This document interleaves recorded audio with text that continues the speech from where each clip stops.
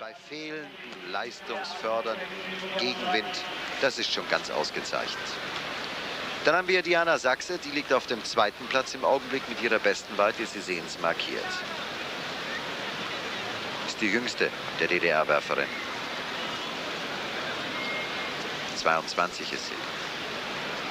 Aus Potsdam. Oh ja, er war über 70 und gültig. Das ist es. Also wenn ich gesagt habe über 70, da sind so mehrere Linien über den grünen Rasen gezogen. Und wenn ich der einen trauen darf, dann waren es 70 Meter.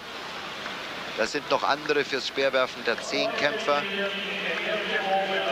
auf den Boden gezogen. Das übrigens schon um 18.30 Uhr ist, nicht wie ich vielleicht vorhin gesagt habe, 19.30 Uhr, Speerwurf der Zehnkämpfer.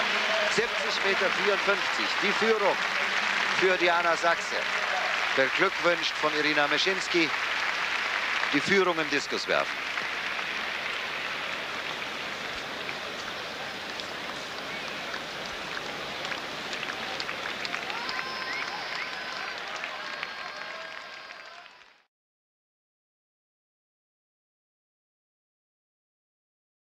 opgenomen beelden.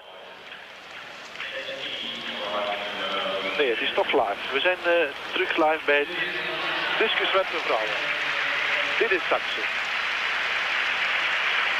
Dit is de nummer 1 met 70 meter 54. En kijken wat ze nu gedaan heeft. Het is de allerlaatste beurt voor de vrouwen in het discuswerpen.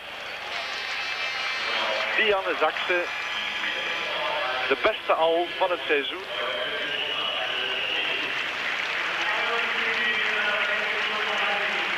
Ja, ze doet nog beter. 71 meter 36. U ziet het. Haar progressie, vooral dus in haar laatste drie worpen, 67, dan 70. En nu blijft ze uiteraard nummer 1.